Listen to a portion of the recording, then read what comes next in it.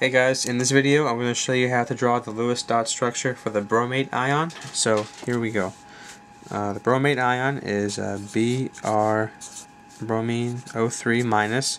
So that's going to give us 7 valence from the bromine plus 3 oxygens each with 6 electrons plus 1 more for the negative 1 charge for a total of 26 valence electrons, okay?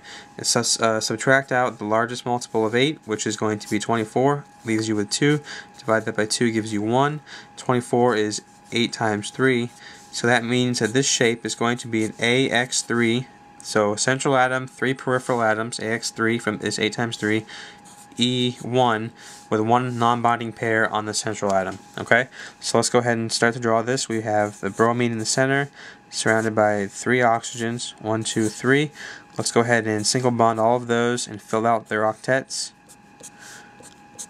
Okay, and then we also have to add on this lone pair, non-bonding pair on the bromine. Okay, so there we go. Now, if you were to calculate the formal charges, this this this might look right, but if you check the charges, it's uh, not actually going to be correct. You're going to have some pretty high formal charges. So what we're going to end up doing is moving this non-bonding pair and this oxygen to make it a double bond, and we're going to end up doing the same thing over here.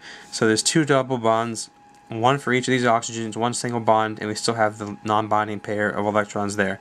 And don't forget to add in the braces or brackets because it's an ion and put the charge up top. So let's go ahead and check the formal charges to make sure that this is correct.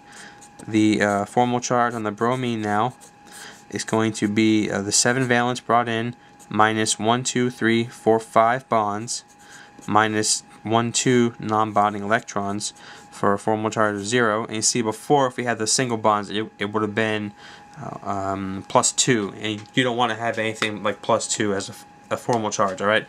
Um, now we can check the formal charges on, let's say, the oxygen with a single bond, O sub 1. So this oxygen right here. Um, that's 6 valence brought in minus 1 bond minus 2, 4, 6 non-bonding electrons for a formal charge of negative 1. And now the uh, formal charge on the oxygen with two with a double bond, so O sub 2.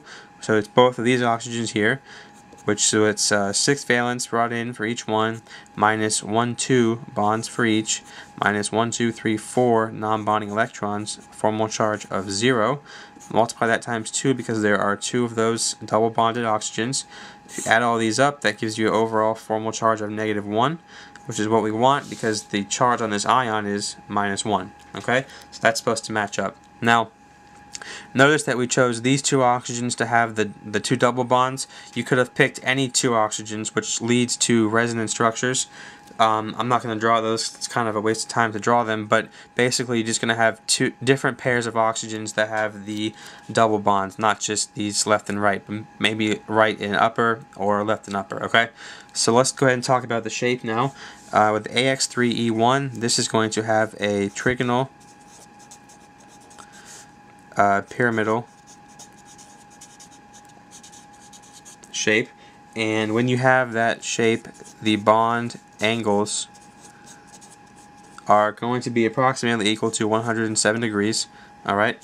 Now, um, in terms of hybridization, you have the central atom surrounded by one, two, three peripheral atoms as well as one non-bonding pair. So there's one, two, three, four electron groups.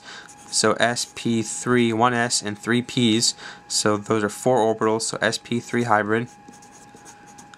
And due to the fact that you have this non-bonding pair of electrons here, that is going to make this a polar compound. Alright, that is pretty much it for this ion. If you have any questions, let me know.